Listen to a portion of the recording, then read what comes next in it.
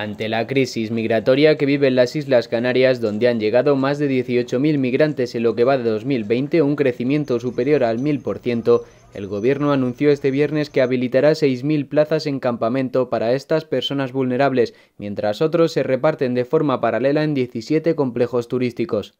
Así, el presidente del Partido Popular, Pablo Casado, ha pedido al Ejecutivo dirigido por Pedro Sánchez que dé una respuesta inmediata a esta crisis humanitaria. Sánchez es responsable de esta situación insostenible. Pedro Sánchez no puede pretender hacer de Canarias la Lampedusa y la Lesbos de España. No puede pretender que Canarias sea un tapón migratorio para intentar tapar la incompetencia y la falta de liderazgo que está teniendo el presidente del gobierno. Por su parte y desde Tenerife, José Luis Ábalos ha mostrado su preocupación por la situación y ha comentado que se debe combinar la política de fronteras con una migración regular, la lucha contra la pandemia sanitaria y la sensibilidad humanitaria. Canarias vive momentos difíciles, ciertamente. Lo vemos con preocupación estos días.